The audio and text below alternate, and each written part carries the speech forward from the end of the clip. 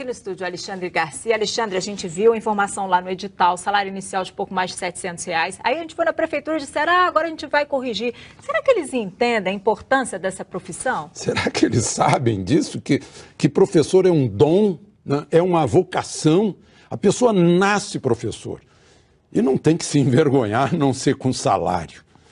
Talvez por isso, hoje eu vi no jornal alguém que se identifica como pedagoga, isto é, formada em pedagogia, não é professora. A outra se diz educadora. Educadora é a mãe, como o pai. Professor é professor, o que ensina. O médico é médico porque teve professores. O engenheiro porque teve professores. Professor é qualidade e não é apenas salário, não.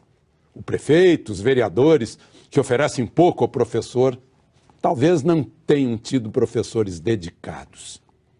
Pagam o mínimo, abaixo do mínimo, porque não podem pagar pior.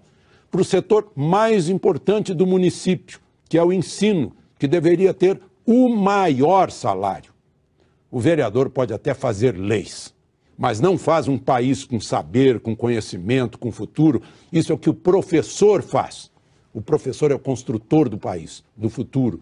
Precisa de salário que lhe dê tranquilidade para viver e lecionar preparado, para que possa se vestir dignamente à altura da nobreza da profissão. Aliás, qual seria a mais nobre das profissões? A do advogado, que não deixa o inocente ser condenado? A do engenheiro que não deixa o viaduto cair? A do médico que não deixa o paciente morrer? Ou a do professor que não deixa definhar o futuro?